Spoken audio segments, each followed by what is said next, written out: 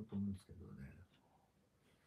そう。なんか皆さんがあのスパチャしてくれる人をねあの真剣に応援してもらうんだったら連れてきてもらうっていうね。あの。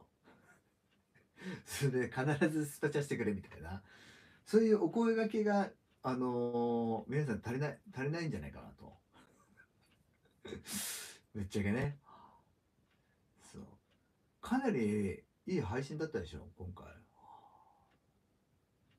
フランスとイギリスはもう、まあ、タイもかなり分かったんじゃないですか？今回。行って戻ってみたいな感じで、ね。すごく分かったんじゃないですか？と思うんですよね。あタイってこういうとこだみたいな。フランスってこういうとこなんだイギリスってこういうとこなんだみたいな、ベトナムも行く気はなかったけどねトランジットだったんでベトナムもまあ多少分かったと思うんですよね。はい、はい、